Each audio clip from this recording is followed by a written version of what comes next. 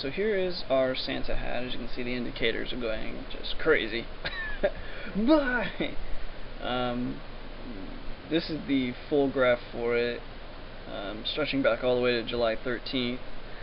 Um, if you just took took like a a ruler and drew a line, you, know, you would see that. I mean, we're way under it. I mean, it should be about 130 mil or so at the moment, and right now we're at, even though, well, let's, let's zoom in.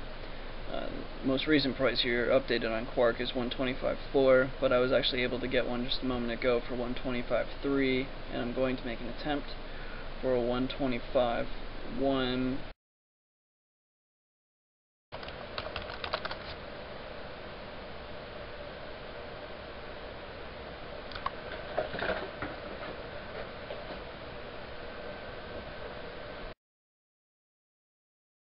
It's just the perfect time to buy because then they just bounce right after that.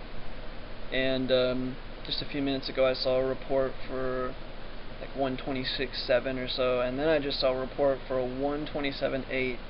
Uh, considering I paid uh, 25, 125.3 for them, I was pretty excited. That's a very quick change of events for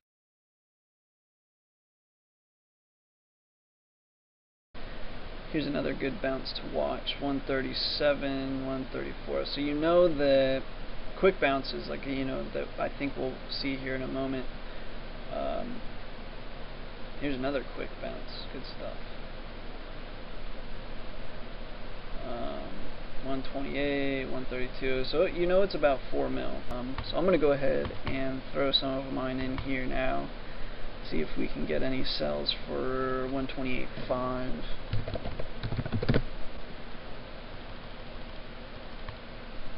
Um, um, sorry, I'm still watching. Now they're reporting a 128.3. Oh, my Santas are sold. Two of them sold already. 128.5.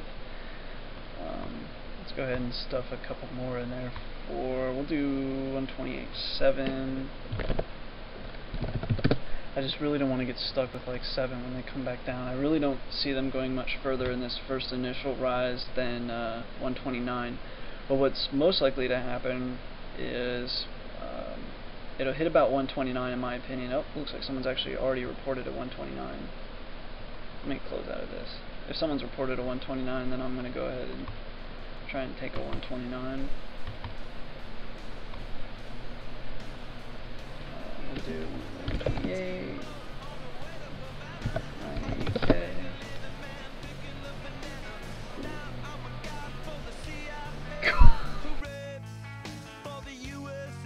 Well, maybe we'll see a little bit past 129.